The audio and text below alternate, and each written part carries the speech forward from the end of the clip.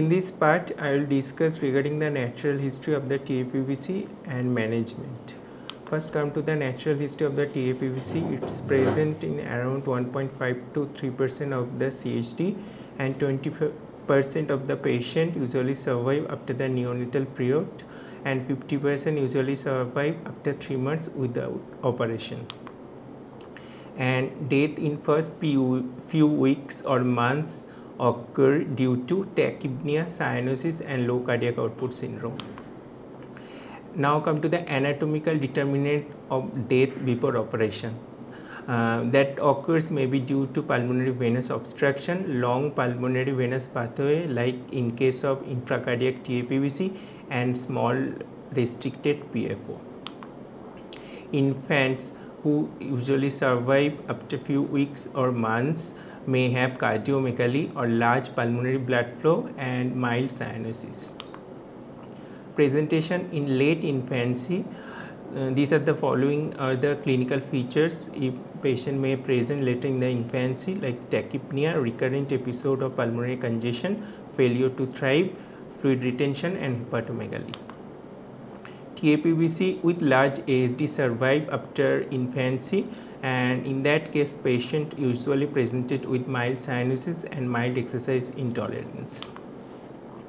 And in that case patient usually present with stable hemodynamics and hemodynamics usually remain stable for 10 to 20 years. After that age pulmonary blood flow and pulmonary vascular resistance usually increased and after that Eisenmenger complex may develop due to pulmonary Uh, uh, artery hypertension.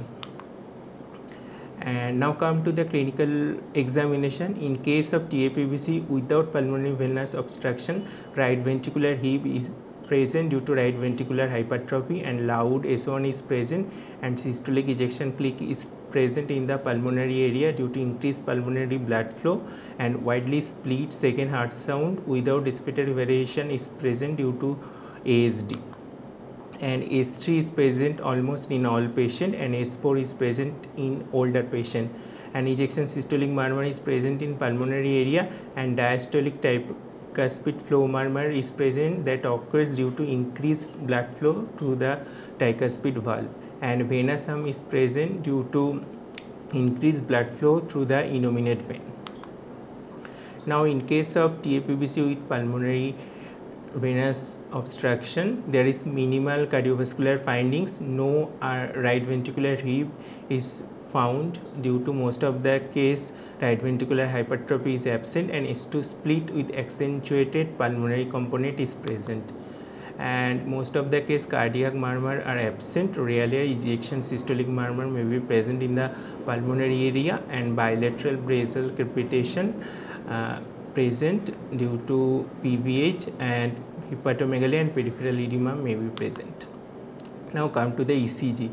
In case of TAPVC without pulmonary vascular uh, PVO, right axis deviation, right atrial enlargement, right ventricular hypertrophy and incomplete RBB may be present and in case of TAPVC with PVO, right atrial enlargement rarely present and right ventricular hypertrophy present. Now come to the chest X-ray, TAPVC without PVO, there is increased pulmonary blood flow and RA and RV usually enlarged and prominent MPA is present and normal left side structure is present.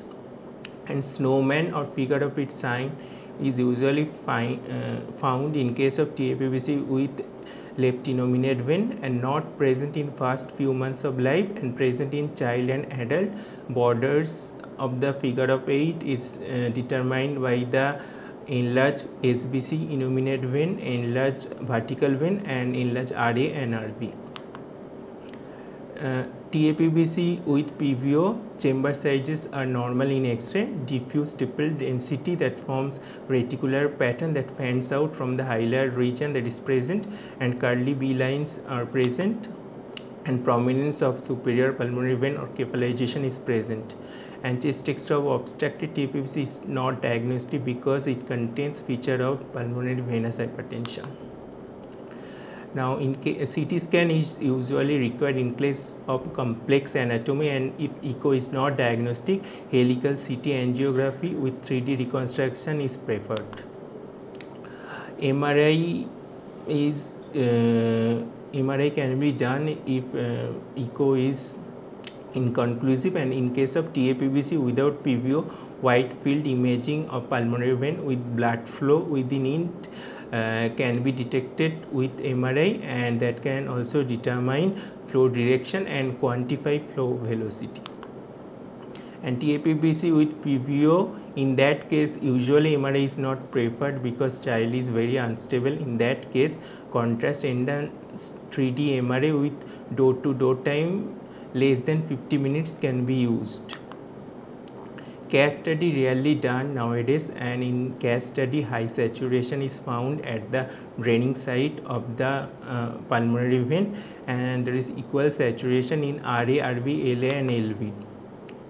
In case of TAPVC with connection to the left innominate vein, uh, blood coming from the SVC usually go to the tricuspid valve and RV and PA and IVC to the PFO through LA, LV and ascending aorta. So, PA saturation is more than systemic saturation.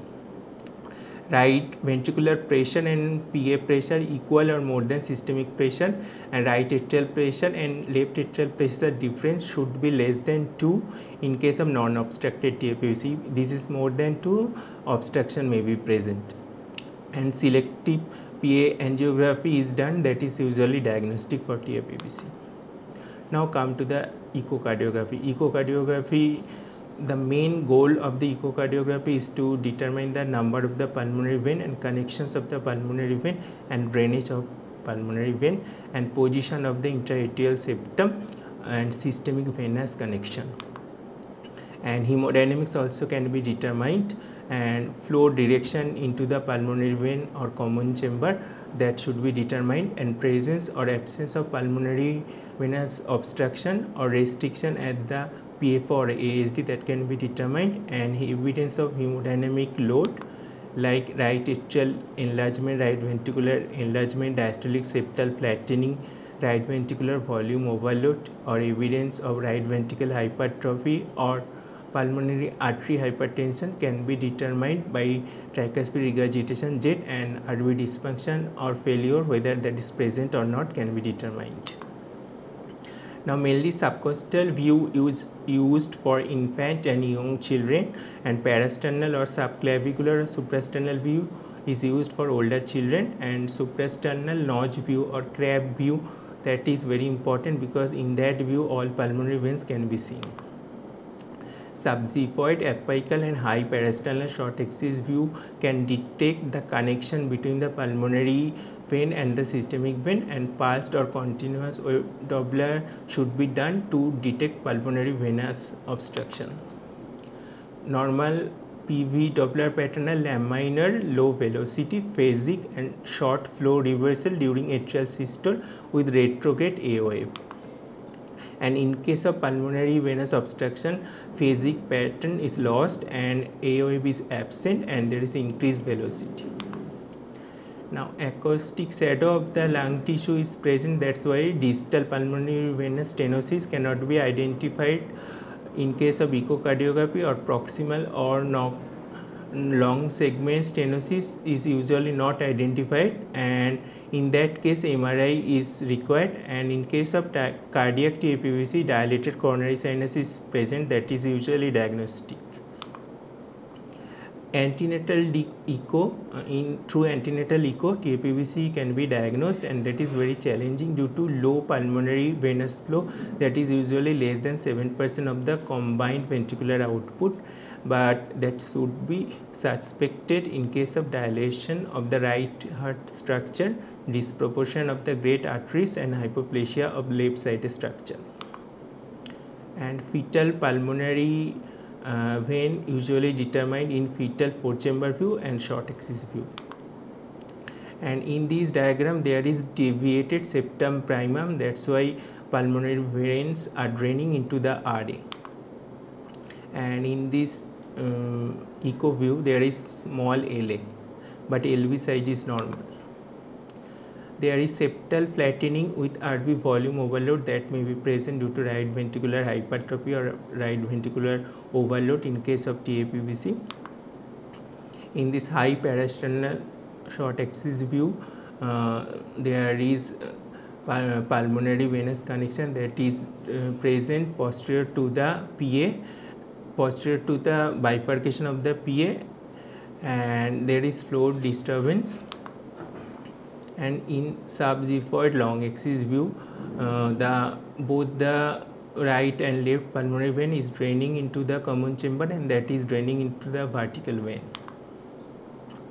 In the parasternal short axis view the both the vein are draining into the pulmonary venous chamber and that is draining into the vertical vein. Subxiphoid long axis view in this case there is coronary sinus is usually dilated that's why uh, that this is echo picture of cardiac type of TAPVC and in that case parasternal long axis view also dilated coronary sinus is present in the subxiphoid short axis view uh, there is increased flow through the coronary sinus and that is also a picture of cardiac type of TAPVC. Short axis view in that case pulmonary venous connection is draining into the vertical vein that is going below the diaphragm. Short axis view in that case vertical vein is draining into the pulmonary vein. This is the pulmonary venous Doppler. There is two S and D wave and there is A wave and A wave will be absent in case of pulmonary venous obstruction. Now pre-op optimization of the obstructed TAPVC patient. Patient should be intubated and positive pressure ventilation should be given with 100% oxygen and metabolic acidosis should be corrected and PGE1 and balloon atrial septostomy is doubtful because PGE1 may increase the systemic blood flow through PDA with right to left shunt but if there is hypoxia that may cause increased systemic blood flow but uh, pulmonary blood flow will be reduced. So th that is doubtful. And now come to the different approach for supracardiac TPVC repair. There are three approach uh, right lateral approach right atrial approach and left sided approach. Normally median sternotomy are done and pericardium open. Now come to the cannulation strategy. In case of supracardiac or infracardiac TAPVC bicaval cannulation can be done or RA cannulation can be done. But in case of cardiac type of TAPVC only bicaval cannulation should be done. And when we are planning for circulatory arrest uh, RA cannulation can be done in uh, normally circulatory arrest is done in case of complex anatomy in case of pulmonary venous obstruction and in case of SVC or innominate vein stenosis and in the right sided approach first RA is elevated then uh, RA, LA and common chamber is identified.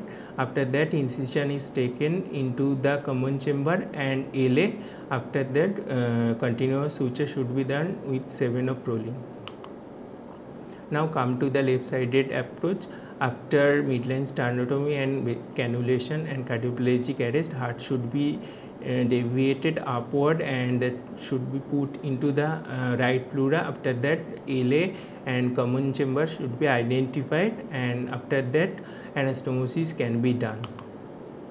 Now come to the RA approach. In RA approach RA is opened and after that uh, ASD should be identified and that should be enlarged after that posterior wall of the left atrium should be identified and that should be opened. After opening of the posterior wall of the left atrium anterior wall of the vertical chamber should be identified and that should be opened.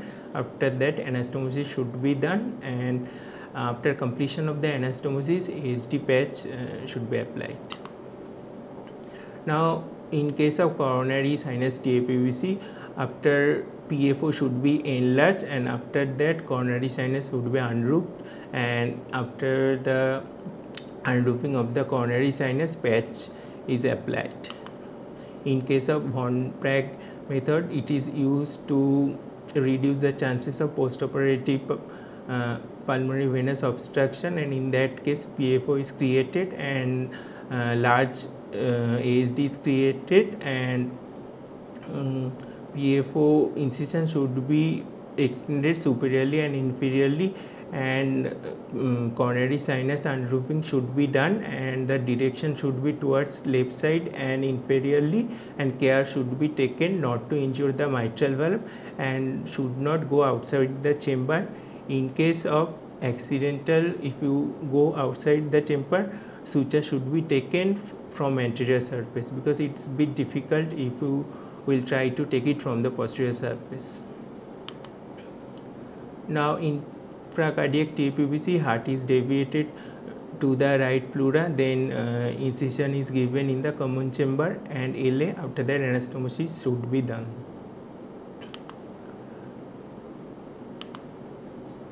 Now there are three pattern of the mixed TAPVC first 2 plus 2 pattern. In case of 2 plus 2 pattern uh, there are different types like right superior pulmonary vein and right inferior pulmonary vein to coronary sinus and left superior pulmonary vein and left inferior pulmonary vein to the brachiocephalic vein or vertical vein.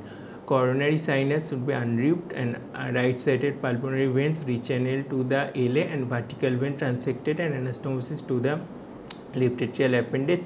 Dacron patch partition between the RA and CPVC should be done and in case of right superior pulmonary vein and right inferior pulmonary vein to SVC RA junction and left inferior pulmonary vein to brachiocephalic vein via vertical vein in that case combination of Siraf modified superior approach and classical Warden technique for sinus venosus repair should be done.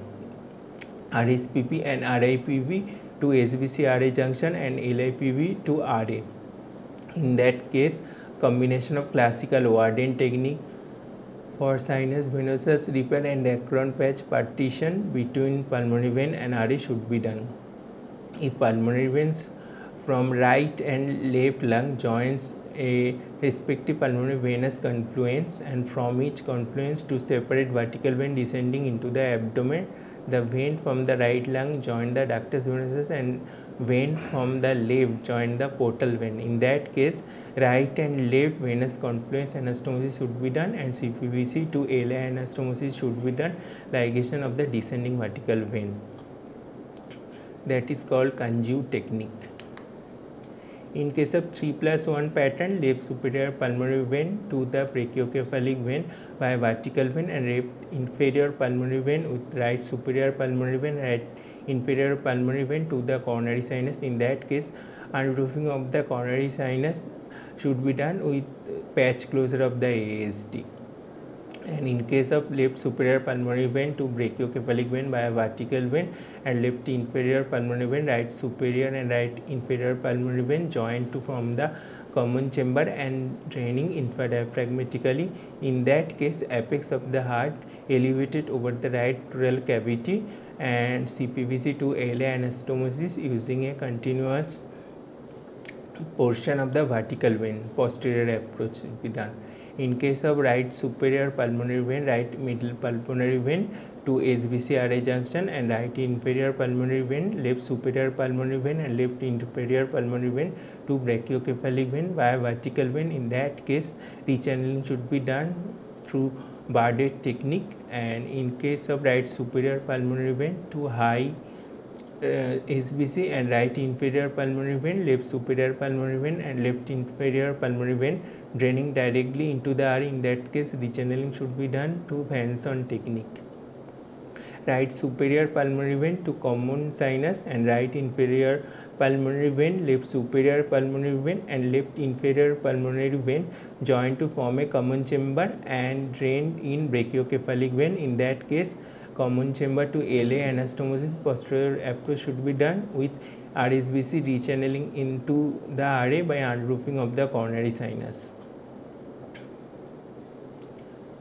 Right left superior pulmonary vein to vertical vein with dual drainage to brachiocephalic vein and coronary sinus left inferior pulmonary vein and right superior and right inferior pulmonary vein join to form a common chamber to drain in coronary sinus. In that case, vertical vein to brachiocephalic vein anastomosis should be done and after the ligation of the vertical vein coronary sinus unroofed and all pulmonary vein rechannel into the LA Dacron patch used between the CPVC and the RA. Now come to the bizarre pattern. In bizarre pattern, right inferior pulmonary vein, left superior pulmonary vein and left inferior pulmonary vein form a common chamber and the common chamber draining into the SVC RA junction via right middle and right superior pulmonary vein. In that case, common chamber to LA anastomosis should be done and uh, between RSPV and ASD sected and Dacron patch used to used to close the ASD and baffling of the right superior pulmonary vein. Right superior pulmonary vein and right inferior pulmonary vein join to form a common chamber and draining into the RA. Left inferior pulmonary vein draining into the RA and left superior pulmonary vein draining via the vertical vein into the brachiocephalic vein. In that case, under circulatory arrest, right superior and inferior pulmonary venous junction transected and anastomos to the LA and fenestrated Dacron patch is used to redirect the left inferior pulmonary vein, vertical vein, brachiocephalic vein junction transected and LSVC anastomoted to the left atrial appendage. And in case of right inferior uh, pulmonary vein and left inferior pulmonary vein join to form a common chamber and draining into the coronary sinus right superior pulmonary vein drain separately into the RA and left superior pulmonary vein drain via vertical vein into the left brachiocephalic vein. In that case, coronary sinus unroofed, right superior, right inferior, left inferior may rechanneled to the LA with a PTFE patch, vertical vein, brachiocephalic vein anastomosis should be done uh, and transection of the vertical vein. Right superior pulmonary vein and right inferior pulmonary vein draining individually to the coronary sinus and then to the RA through the obstructed orifice and left superior pulmonary vein and left inferior pulmonary vein form a common chamber and has dual drainage to the coronary sinus and brachiocephalic vein via vertical vein. In that case, rechanneling of the right superior pulmonary vein and right inferior pulmonary vein into the LA by coronary sinus unroofing and the Van Praagh technique followed by left sided pulmonary vein rechanneling to left atrial appendage and vertical vein uh, connection le left unligated. And in case of right superior pulmonary vein and right inferior pulmonary vein join to form a right common pulmonary vein left superior pulmonary vein and left inferior pulmonary vein. Join to form a common pulmonary venous chamber that uh, from the board lung draining into the retrocardiac venous plexus and drain infradiaphragmatically. In that case, under circulatory arrest, posterior pericardium was opened and no sizable venous chamber could be identified for rechanneling. Now come to the post-op complication. Most commonly uh, after TPVC patient may present with low cardiac output syndrome that should be managed with reducing the temperature to 35 degree and use of inotrope. And patient usually presented with tachycardia, decreased urine output and decreased blood pressure with increased lactate and increased base deficit. And jet is also common after uh, TAPVC repair that should be treated with magnesium and potassium level should be corrected and in the, uh, if that is not responding to the conservative therapy amiodarone infusion should be started or ivabradine can also be given in case of PAH crisis, there are so many pulmonary vasodilator that can be used from inhaled nitric oxide, milrinone, inhaled milrinone, and IV sildenafil that can be used. And most difficult complication to manage is delayed pulmonary vein stenosis. And in case of TAPVC, early death is around 5 to 30 percent and late mortality is less than 5% and determinant of the mortality are like operation in the early days mixed and infracardiac TAPVC, pulmonary venous obstruction, low weight of the child and poor preoperative physiology and single ventricle physiology.